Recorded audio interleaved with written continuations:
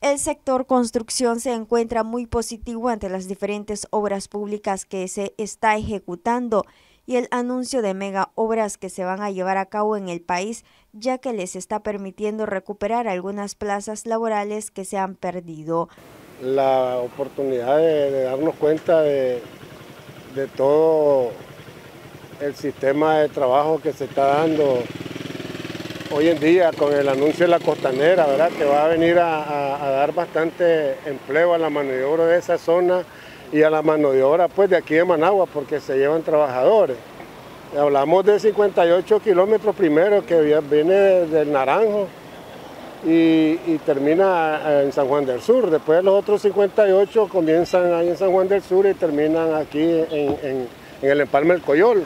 Estamos hablando de dos tramos grandes, ¿verdad? Serían 116 kilómetros de concreto hidráulico. O sea, bastante trabajo sin meter las alcantarillas y las cosas, los trabajos de, ajuste que traen esos, esos, proyectos. De la misma manera, el megaproyecto que está en, en, Gilbá, y es un proyecto grandísimo, inversión extranjera, hay inversión de diferentes lugares, pues, y fuera de Nicaragua, y eso pues nos viene a, mantener la mano de obra sin meter el trabajo del gobierno que ha venido empleando trabajo en, los trabajos de obras públicas, como es el hospital de, Nueva Guinea, que ya va avanzando, y el hospital de Guaslala. Eso viene para nosotros a complementar ¿verdad? un poco más eh, la, salida de, de los trabajadores del desempleo y ahorita pues gracias a Dios la mayor parte del empleo de mano de obra que tenemos en Nicaragua, pues están trabajando los compañeros. Sí, hay desempleo, como siempre, ¿verdad? Y hay emigrado los compañeros, pero están trabajando la mayoría, tal vez un 80% de obreros. Agregó que el sector donde presentan problemas es con el salario, ya que algunas empresas están aplicando el 10% de lo establecido, mientras que otros no. Ahorita tenemos informalidad. Algunas empresas están aplicando el salario eh, ya con el 10% que, decretó el, Ministerio del Trabajo, algo otras no, se han hecho los tontos, ¿verdad? Y como sabemos el problema que existe ahorita con el salario, muchos andan haciendo de la suya. Nosotros estamos pidiéndole a la Ministra del Trabajo que regulemos esto, que le demos eh, importancia a tiempo a este problema porque después se nos puede venir un desorden, el obrero no aguanta mucho tiempo y pueden venir ya los, los alborotes en los proyectos, que es lo que no queremos que se dé. Manifestó que solo en su sindicato que representa tiene agremiado unos 11 mil trabajadores. Noticias 12, Darlene Telles.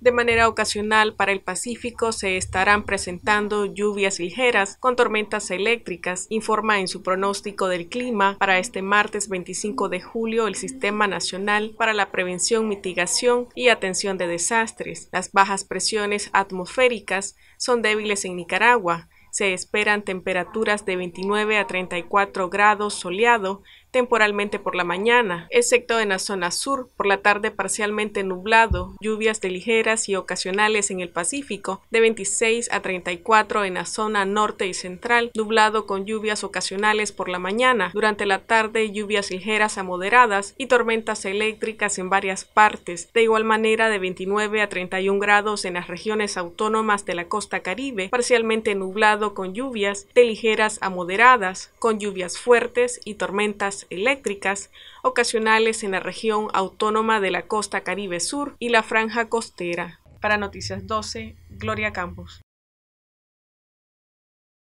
A través de una conferencia de prensa, el Consejo Nacional de Universidades CNU presentó los logros en su informe semanal que el Instituto de Estudios Superiores IES de la UNI ha alcanzado al fomentar la educación a través del programa académico Universidad en el Campo.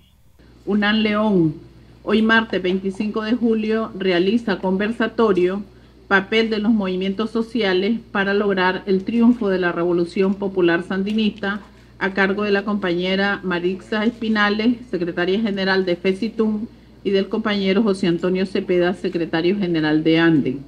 Mañana 26 de julio desarrollará en el campus médico el concierto de música testimonial en conmemoración del tránsito a la inmortalidad del compañero Ali Abarca Melende.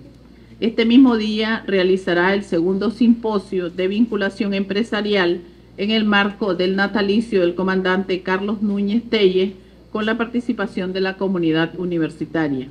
El viernes 28 de julio, desde el Centro Universitario Regional de Jinotega, desarrollará el primer Congreso de Universidad en el Campo, restituyendo el derecho a la educación universitaria para impulsar el desarrollo rural de Nicaragua en el marco de la conmemoración del 64 aniversario de la gesta heroica de los héroes y mártires del 23 de julio de 1959. UNI, ayer lunes 24 de julio, desarrolló capacitación docente, estrategias innovadoras para la mejora continua en el desempeño docente, con el fin de coadyuvar en el proceso de enseñanza-aprendizaje. La Dirección de Investigación realizará el jueves 27 de julio la tercera Asamblea Ordinaria de Consejeros Técnicos del programa Delfín, en donde participarán las universidades miembros del capítulo de Nicaragua.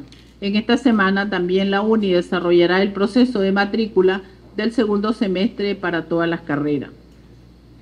Una, hoy martes 25 de julio, docentes y 60 estudiantes del programa académico Universidad en el Campo, en el Ayote, participan en el encuentro de presentación del mapa de fertilidad de suelo de Nicaragua y la agricultura de precisión en cultivos de raíces y tubérculos promovido por el INTA.